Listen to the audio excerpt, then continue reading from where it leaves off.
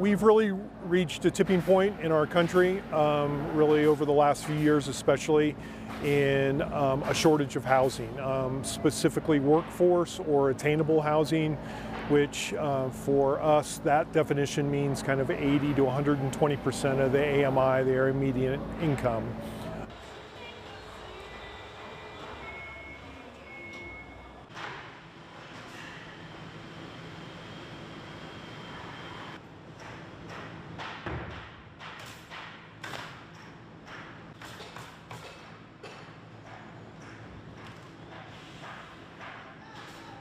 So Fading West really came into existence um, to help solve that problem using the innovative uh, method of manufacturing homes in a factory and using um, principles, uh, lean principles that you would find in, let's say, a Toyota car manufacturing plant.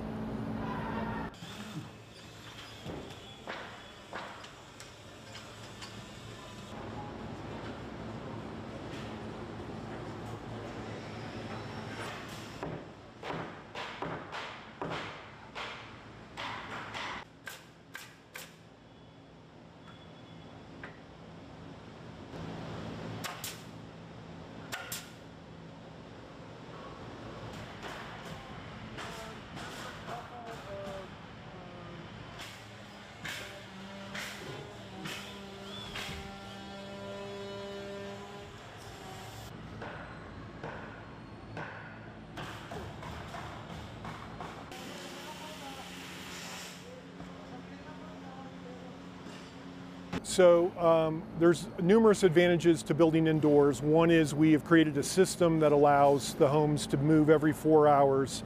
Thus, houses are being built in, like I said, between five and seven days. Um, a typical site-built um, home has 30% waste. We're at about 3% waste, so a radical reduction of waste.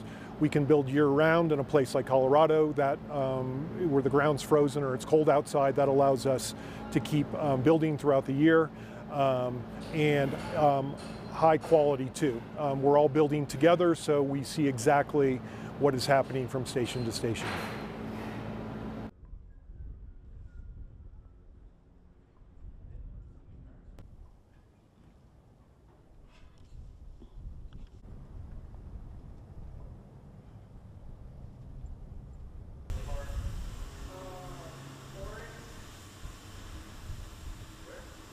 This is a 3D, 3D printed home made entirely of concrete and we print layer by layer utilizing a CAD file that we slice just like your desktop 3D printer and we're able to make different designs with it, more curved walls, has an organic shape to it and we're able to build very high efficiency, highly structurally stable, stable buildings um, for you know, individuals who want this type of technology.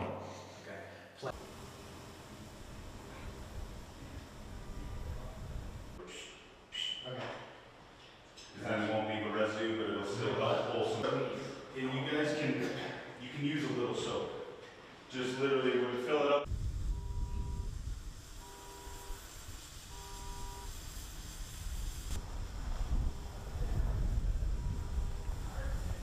3D printing and construction robotics is just a piece of what's going to be happening in the future. Robots are going to be building our homes along with everything else that we're likely going to be doing. But the difference is, is construction is the most important industry in the world because it supports every other industry. So we need to quickly develop the automated processes so that we can build faster and stronger and higher quality structures. And robotics can do that with the lack of labor and resources we have available.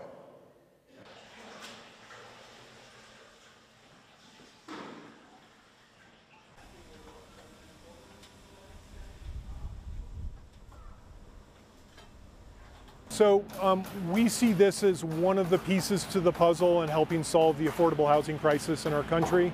Um, one of the things that we urge is um, states and both the state and federal government to put money into building factories such as this. Um, let's say, so if you put in 10 to 20 million to build a factory such as this, then you could build 500 homes a year for the next 25 years rather than focus just on specific, putting money for specific projects. So again, the repeatability of this makes perfect sense for the shortage in workforce housing in our country.